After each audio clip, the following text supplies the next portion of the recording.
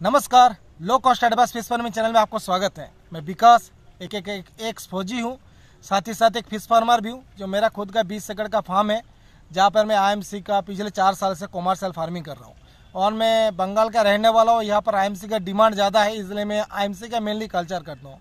और मेरे इस यूट्यूब चैनल में आपको फ़िश फ़ार्मिंग के ऊपर जो भी बेसिक चीज़ होता है बेसिक वीडियो विद डिटेल्स में बताता हूँ, जो आपको हेल्प करता है फ़िश फ़ार्मिंग को अच्छे से अच्छा रनिंग कराने में, मछली को ग्रो कराने में, आपको अनवांटेड खर्चा को बढ़ाने के लिए, क्योंकि गुड प्रैक्टिस ऑलवेज आपको अच्छे प्रॉफिट देता है। और दूसरी बात, आपको तालाब के अंदर जो अनवांटेड खर्चा आता है, जैसे तालाब में कभी गैसेस प्रॉब्लम होगा, मछली को बीमारी होगा तो इनसे कैसे होने ना दे? पहली बात, अरे इनको हो गया तो हम तालाब को कैसे करके रिकवरी करें?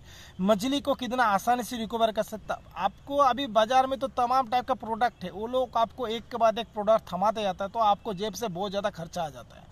इसमें जो मेरे इस ट्यूब चैनल को देख रहा है, ये भली बात ही, उन बंदे पता है जिसने फ़िश फ़ार्मिंग की हुई है जो ताला में प्रॉब्लम होता है, जो हम हम किसी फ़िश फ़ार्मिंग के दुकान में जाते हैं तो हमारा कितने सामान व कितना खर्चा वो लोग करवा देते हैं। फिर भी अगर आखिर देखा जाए तो मछली मरता ही मरता है, और लास्ट में कैसे भी करके मछली थोड़ा सही होता है। तो अगर आप ये कारण होता है, हम लोग एक तो प्रॉपर जानकारी नहीं रखते और जानकारी नहीं होने के कारण थोड़ा बहुत भी जानते होंगे तो हम डर जाते काफ़ी सारे आदमी इसके ऊपर बहुत सारे बोल देते तो अब लोग तो हम डर के कारण हम लोग बहुत ज़्यादा खर्चा कर देते इसलिए मेरा मानना जो है, आप फ़िश फ़ार्मिंग को बेसिक चीज़ को समझिए, हर चीज़ को लॉजिक समझिए। विदाउट साइंटिफिकली कुछ नहीं होता। अगर तालाब खराब हो रहा है तो इसका भी कोई कारण है। अगर तालाब सही होगा तो उसका भी कुछ कारण है।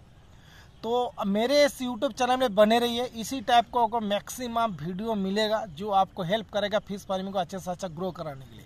आज एक इम्पोर्टेंट बात के ऊपर डिस्कशन करने के लिए आया हूँ, जो स्पॉन के ऊपर, जो आदमी अभी क्या होगा, अभी जो टाइमिंग हुआ है स्पॉन के टाइमिंग हुआ है, बहुत आदमी अभी नर्सरी पॉन्ड प्रिपेयर किया होगा तो स्पॉन छोड़ता है।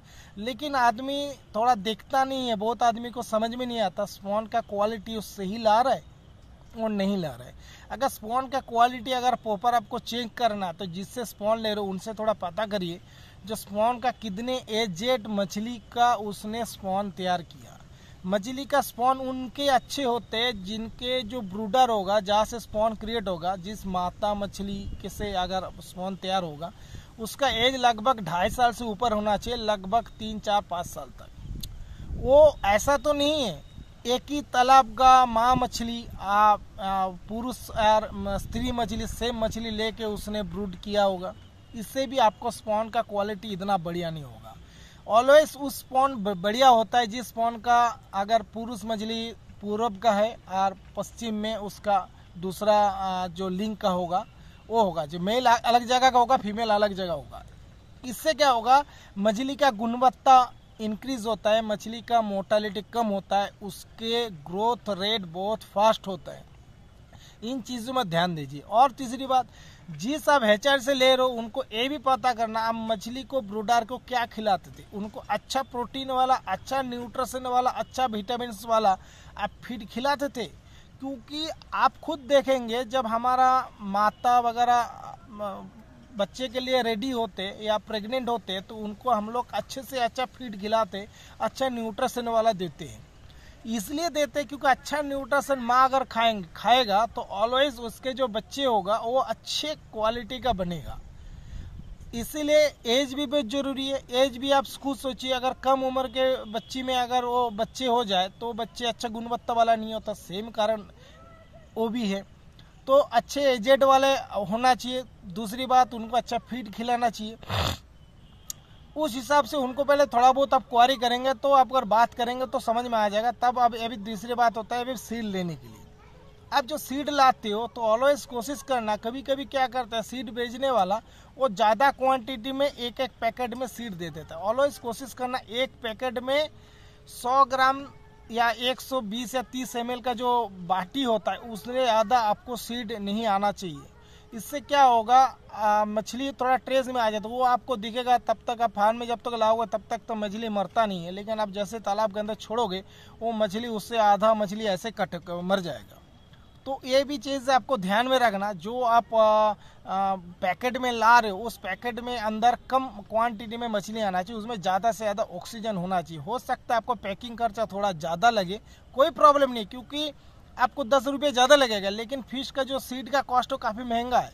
तो इसलिए सीड को ख़त्म मत होने दीजिए क्योंकि वो बहुत महँगा है। एक सीड एक बड़ा होके बहुत मतलब एक पैकेट सीड से आप सोच के चलिए एक पैकेट सीड में लगभग आपको 20 से तीस हज़ार तक फीसेस होता है। तो अगर वो इतने, पूरे के पूरे का ज़िंदा रखे ग्रो हो जाए तो कितने फ़ीस हो सकता है? और उतने अगर एक किलो में हो जाए तो कितना फ़ीस हो सकता है? इसलिए मछली को जो सीड होता है, उसको ख़त्म करना मेरे तो लगता है वो सही नहीं है। और दूसरे कारण हम पोपार उससे आउटपुट नहीं ले पाते, क्योंकि हम सोचते, इतने हमने सीड छोड़ा, और हमारा जो मछली बना, जो फ्राई बना, वो बहुत कम बना। तो ड्यू टू कारण इसी से होता है। और दूसरी बात, आप मछली जो लाते हो ट्रेस में है या अच्छे क्वालिटी का सीड है, उसके एक पहचान का भी एक तरीका है। आप किसी एक बर्तन में उस सीड को थोड़ा सा हिस्सा डालिए, थोड़ा हिले डालने के बाद तो पानी में डालिए, पानी के साथ उनको सीड को डालिए। उसको पानी को ऐसे करके फ्लो करिए, जैसे घुमाइए। घुमाने के बाद आप एक चीज़ वॉच करेंगे, मछली में उनमें अगर 80 परसेंट आपको मछली अगर जो फ्लो है, उसके उल्टा साइड में घूम रहा है तो आप सोचेंगे उनके सीड क्वालिटी सही है, क्योंकि मछली का एक प्रवृत्ति होता है, वो पानी के फ्लो के उल्टा साइड में घूमना। ये बिल्कुल आप नॉर्मली आप तालाब में जो सीड लाते हो, उसको कर सकते हो। वो क्या करना, आप, एक बर्तन में डाला, पानी को ऐसे घुमा देंगे तो खुद ही समझ में आ जाएगा, वो जो साइड साइड में बिल्कुल कोने कोने में बिल्कुल उल्टा साइड में घूम रहा है, वो लोग बहुत स्ट्रांग वो सीड है। और जो थोड़ा वीकनेस होगा देखना बीज में आ जाएगा और पानी के बहाव में वो घूम रहा है। मतलब आप सोचो, वो छोड़ने के बाद ऐसे ही खत्म हो रहा है। तो उसके एक परसेंटेज क्वांटिटी आप कर लेना, है, लगभग सेवेंटी एट्टी परसेंट तक आपको ऐसे घूम रहा है। मतलब वो सीट बहुत ही बेहतरीन है। इससे आपको समझ में आ जाएगा हाँ उतने सीट तो आपको लगभग जिएगा और बाकी सीट ऐसे ही धीरे धीरे वो गल जाएगा। दूसरी बात सीट को छोड़ने के टाइम भी और एक चीज़ करना है। जो आप पैकेट लाते हो, पैकेट को क्या करना, पानी के अंदर जैसे मैंने पैकेट लाया, उसको प्लास्टिक के साथ आपको आधा घंटे तक पानी में छोड़ दीजिए। पानी में छोड़ने के कारण क्या होगा, जो पानी का जो टेम्परेचर है वो वो जो आपने पैकेट में जो पानी के साथ स्पॉन है, उसका टेम्परेचर दोनों डिफरेंस वो धीरे धीरे धीरे धीरे इक्वल होगा तो मछली ट्रेस में नहीं आएगा। हम अचानक अगर छोड़ देते, आपको तुरंत देखोगे मछली तो चला गया। लेकिन बाद में क्या होता है, वो बहुत बंदे को पता नहीं। बाद में देखोगे मछली आपको ज़्यादा दिखेगा नहीं, उसमें से बहुत ज़्यादा स्ट्रॉन्ग बच जाएगा। लेकिन वो जैसे दोनों का टेम्परेचर में डिफरेंस होता है, वो मछली ट्रेस में होने के कारण वो मरता है। तो इन चीज़ को, इन कुछ चीज़ों के ऊपर आप ध्यान में रख के स्पॉन छोड़िए।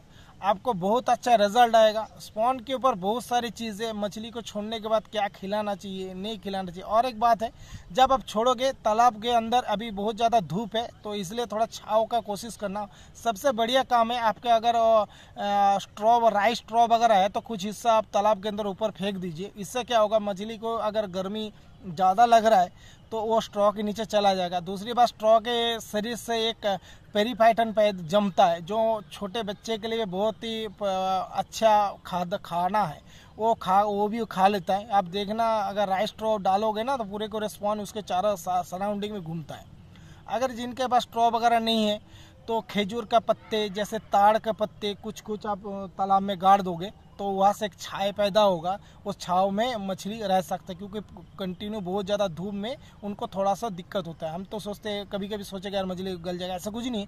वो तो अपना टेम्परेचर के हिसाब से पानी में अप डाउन करता रहता है। तो वो करेंगे तो हमारा प्रॉफिट होगा।